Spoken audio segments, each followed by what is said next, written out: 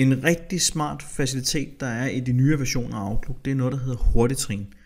Hurtigtrin, det er en måde, du kan automatisere alle de daglige rutiner. Så alle de ting, du sidder og gør flere gange i løbet af dagen, der er måske mulighed for, at du kan optimere de her rutiner ved hjælp af hurtigtrin. Et hurtigtrin, det er egentlig bare en række handlinger, som du sammenkæder, og så udfører ved hjælp af et klik. Når du starter, så er, er der nogle eksisterende hurtigtrin, som du enten kan, kan bruge eller tilpasse, eller også så kan du slette dem, hvis du ikke skal bruge til dem. Så, men de findes under fanen, der hedder hjem, og der ligger nogle forskellige ting. Der er en, der hedder T-mail og slet og besvar og til chef. Første gang du klikker på dem, så vil de også komme og sige, det er første gang du er ved at konfigurere dem, og nu skal du definere, hvad de så betyder. Øhm, nu kunne jeg godt tænke mig bare at lave et helt nyt hurtigtrin, som tager den markerede mail og flytter ned i en undersmappe. Øh, for eksempel har jeg en mappe, der hedder kurser, og så markerer den som læst.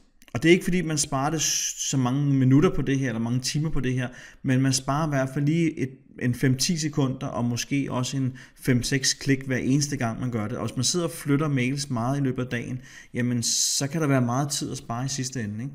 Så hvis jeg vil lave mit eget hurtigtrin, så kan jeg klikke på opret nyt heroppe, Øh, så skal jeg starte med at definere et navn. Jeg vil gerne have en, der hedder flyt til kurser. Og så kan jeg også definere en lille ikon, som bliver vist i brugerfladen. Og der er en masse ikoner, man kan vælge imellem. Øh, og det kunne være, der var et eller andet flytteikon. For eksempel den, der er der, kunne jeg godt tænke mig at bruge. Den symboliserer noget, der bliver flyttet.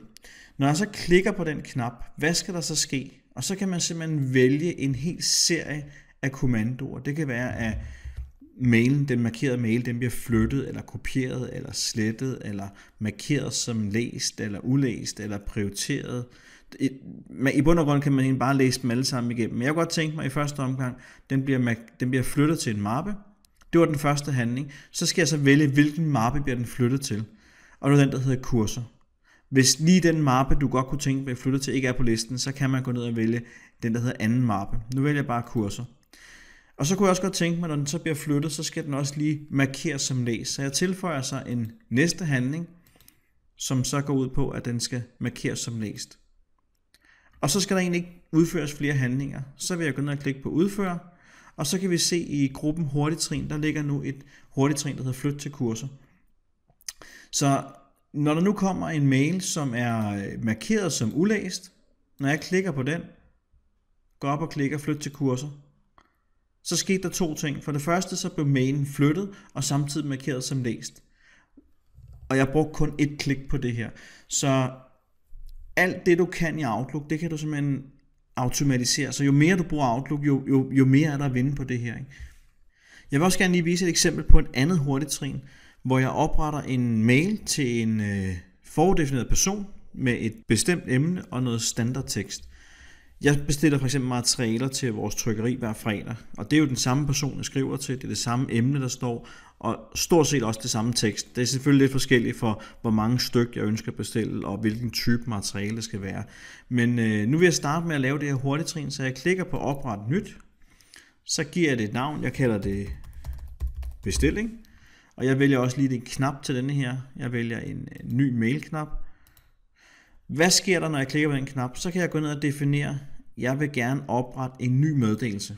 Og så kan jeg definere, hvem skal den meddelelse sendes til. Jamen det skal så være til vores trykkeri. Der har vi en, der hedder Jakob. Så jeg vælger Jakob ud. Og så kan jeg definere under vis indstillinger, hvad skal der så stå i emnet. Der kunne for eksempel stå netop bestilling af materialer. Og så nede i teksten, der skriver jeg så beskeden til Jakob. Hej Jakob. Og nu har jeg snydt lidt, så jeg kopierer lige noget standardtekst ind her. Men så kommer der til at stå, hej Jacob, hermed bestilling af følgende materialer, hvor mange stykker det skal være, og det skal jeg så definere hver gang jeg opretter den her.